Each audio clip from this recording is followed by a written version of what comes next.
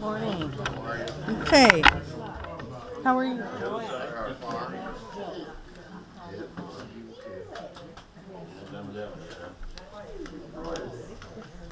Good morning, everyone. Good to see you all this morning. Welcome to worship. Do you have announcements you would like to share? The meeting will be after church too, so.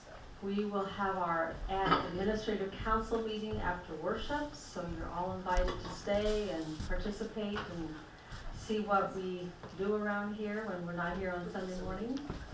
That'll be right after worship. Other things to share. All right. Go for it. We had one and two and one ten. I mean, it's arranged that we, Two and one tenth. we have to do a lot of people involved down. That brings that. Now we'll hear from the other side. I'm sure it'll be bigger. I thought Carl was going to raise his figure and say a little more. During the week, I told him we had two quarters. Oh, so he already knew. Yeah, Okay. still didn't help it going. He did. All right. Morning. Okay, well, um, you see in your announcements that, well, it says the office will be closed through August eleventh, but Alice McKim has been coming in and sitting for us, um, Tuesday, Wednesday, Thursday mornings. And then I believe Marie will be back on Friday, so really it's not closed, but just Marie isn't there. And next Sunday, um, Betsy Sue Nybert will be here, so, um, I know that you enjoy her and she really enjoys coming to share the word with you, so that'll be next week. And you see that there's an emergency contact, um, if the, if you have an emergency while I'm gone. All right. Well, I invite you then to stand for our call to worship.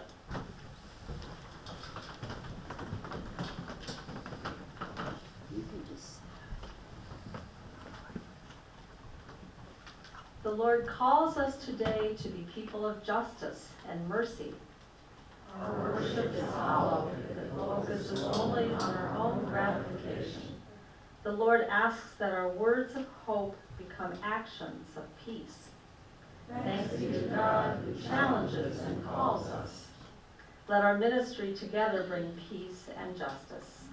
Let our lives reflect God's love and mercy. Amen. Let us continue together in our opening prayer. We gather in your house, O God, because you have called us your children. Enable us to put aside the worries and concerns of the world and focus on you. Open our hearts to the truth of your love, that we might be renewed and refreshed. Amen. And our opening hymn is How Can We Name a Love, page 111. I think you'll recognize the tune if you don't recognize the title.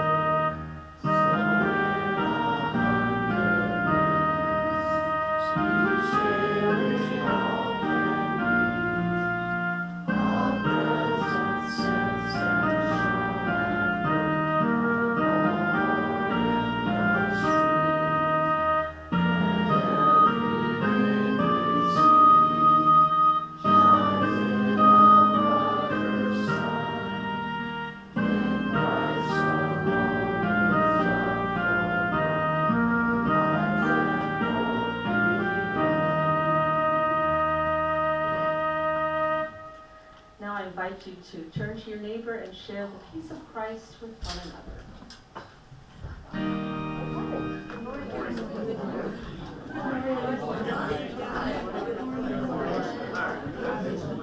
Good morning.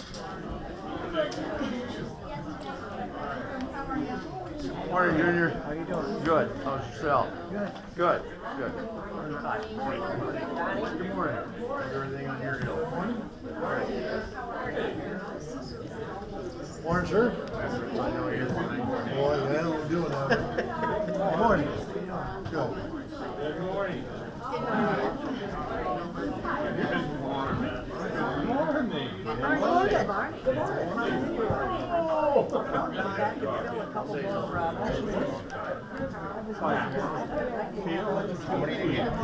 Originally from, like, Thank you.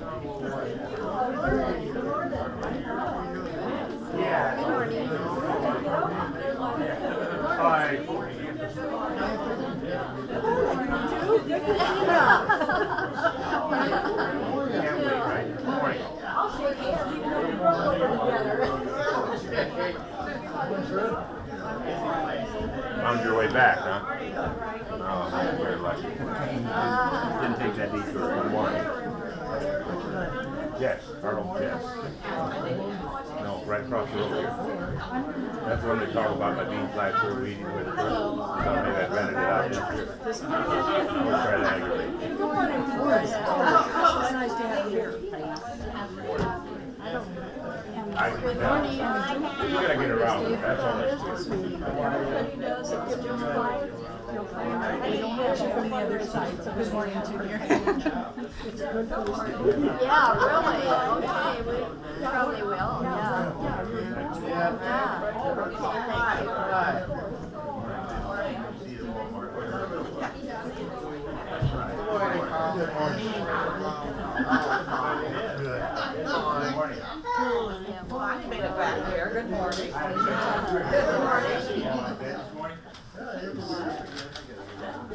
Good morning. Good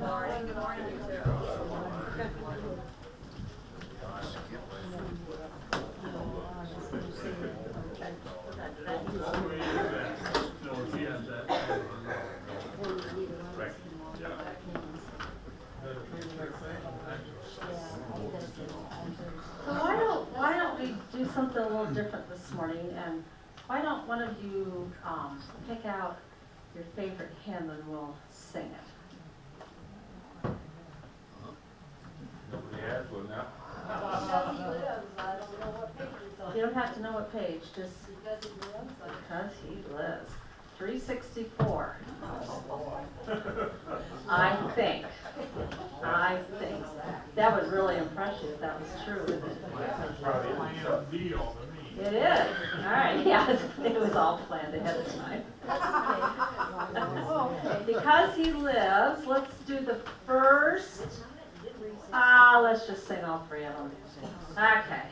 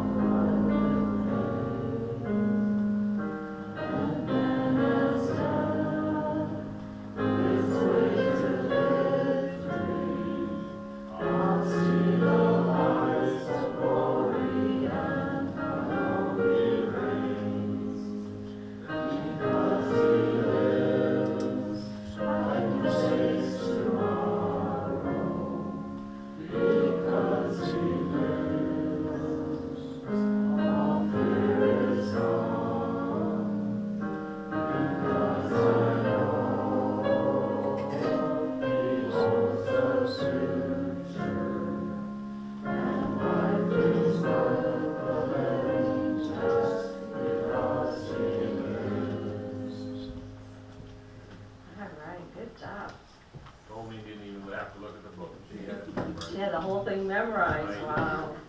Wow. It's a good song. Good morning. Good morning. How many of you like to sleep in in the morning? Yeah. So especially if it's not a school day or a work day or a church day, then um, like on a Saturday, you get to sleep in a little bit longer. You kind of like to catch up on your sleep a little bit. What about staying up late at night? Do you like to stay up late at night? Yeah, okay. well, when you stay up way late in the, at night, how does that make you feel in the morning? Tired. Tired, okay, all right. Well, I had a friend one time who wanted to go fishing with her dad in the morning. And her dad said, well, you better get to bed tonight because we're gonna leave at four AM, so you better get some sleep. But did my friend listen to her dad? No. She stayed up and she watched her TV shows and on and on. And so when her dad came in and got her in the morning, she was not ready to get up. And she almost couldn't go fishing because she was so tired. Our Bible verse, Jesus says, Be dressed for action and have your lamps lit.